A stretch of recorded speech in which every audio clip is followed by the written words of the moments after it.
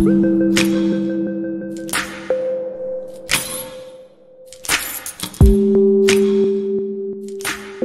would you want to? Because we're coming to you live, from JPP.